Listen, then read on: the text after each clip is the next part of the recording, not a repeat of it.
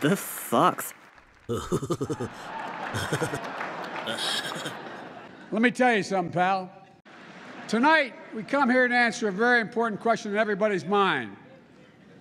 Why in hell are we still doing this? Folks, it's wonderful to be back here again proving I haven't learned a damn thing. This is amazing. While the counseling, while, while documenting Ukrainian fleeing. Whoa. But what do you, but I, I think you don't know this. Uh, what?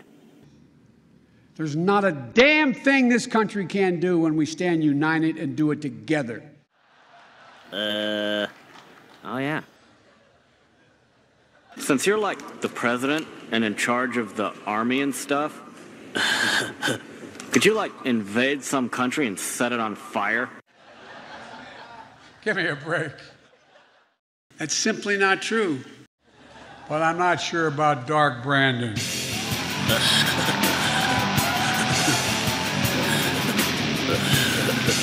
This is gonna be cool.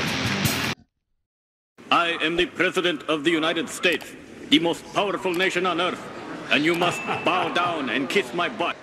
America's Least Wanted.